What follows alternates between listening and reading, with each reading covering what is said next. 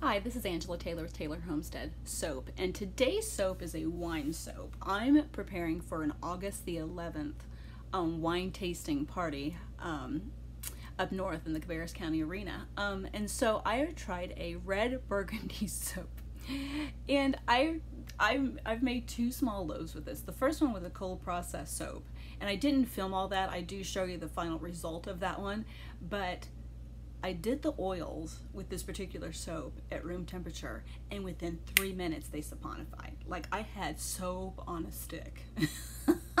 and so it didn't come out the way that I wanted. So my daughter was like, Mommy, why don't you try a melt and pour soap using this scent and make it fancy that way it won't accelerate.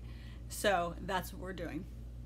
Um, so this video shows a cold process soap with this fragrance oil and a melt and pour base so you can see the difference in between the two. Um, it is interesting, it is different. Um, without further ado, here is the Burgundy Rose Wine Soap.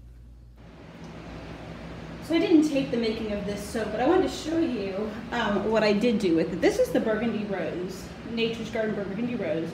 This stuff is wicked when it comes to turning into soap quickly. Absolutely wicked. I had room temperature lye, room temperature oils, and I was trying to do a drop swirl into that. Well, you see that didn't happen.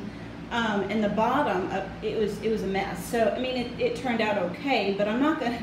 This next loaf that I'm gonna do is not going to be a cold process loaf. I'm gonna do a melt and pour.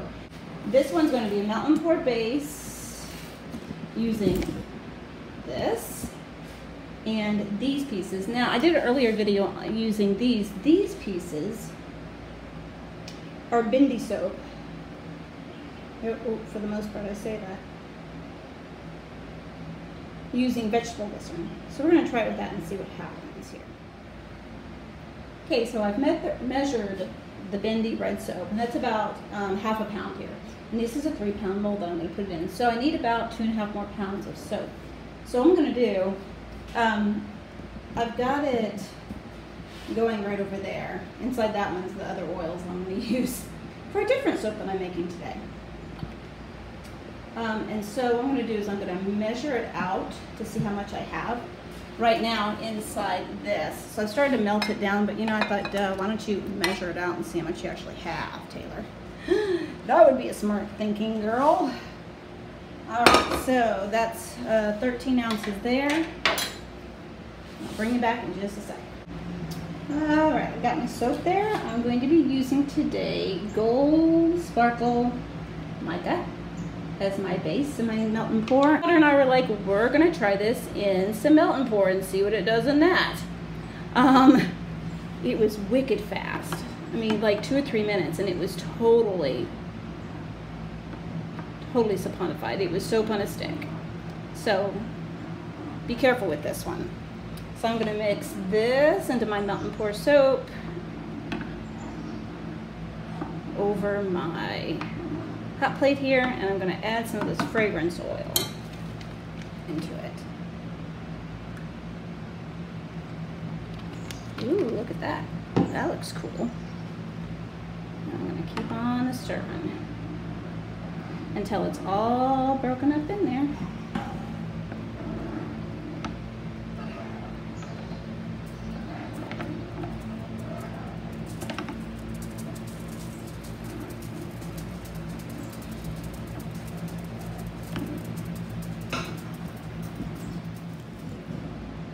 Okay, so what I've done, I've poured some of this into my mold.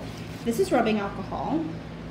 And I'm gonna put this rubbing alcohol and pop all of these bubbles that are on the top there. You never want to have um, bubbles on the top of your soap. It just doesn't make it look as pretty. I'm gonna take these pieces here and I'm just gonna lay them in kind of sligoggly manners in this soap.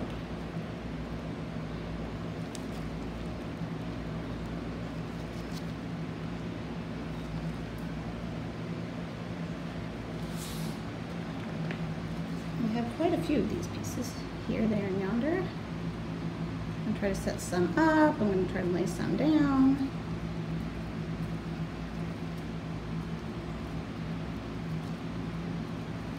Cross some over.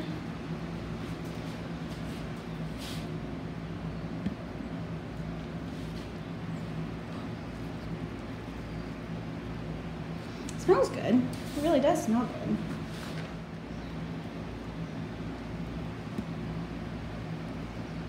Red and Gold soap.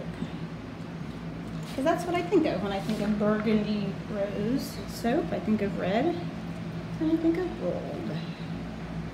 And again, this um, will probably not be uh, um, put into my Etsy shop until after August 11th. This particular soap is being made for my August 11th um,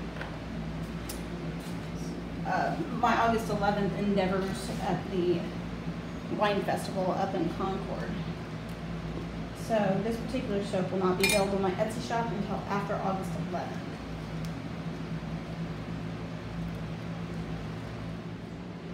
Okay, here is this Burgundy Rose Melt and Pour soap. Just It's gold melt and pour, burgundy rose fragrance oil, and just red bendy pieces that you see there. So we'll come back in a couple hours and we will cut this soap. All right, we are at the cutting of this So this is all melt and pour. I've already cut one, but I wanted to show you, this is really cool looking inside, y'all. So I'm gonna cut here. Let's see, I wanna make sure I get a straight cut.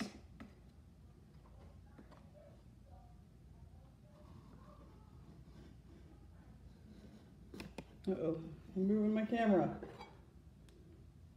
Look how cool that looks. And you can see all the glistening. That's cool looking. Look how cool, y'all. Very cool. All right. And the cool thing about the soap is that every piece is a little bit different. It's just neat. Look at this. Ooh, look at that one. Cool. All right, my friends, if you like what you see, please give me a big thumbs up, subscribe to my channel, and leave a comment below. Look how cool, y'all. You see, these were more on the bottom. and it smells like wine. Look how cool.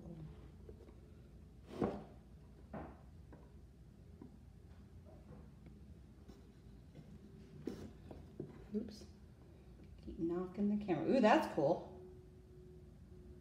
Ooh. Very nice. All right, subscribe to my channel. Thanks for watching. Have a great day, y'all. Bye.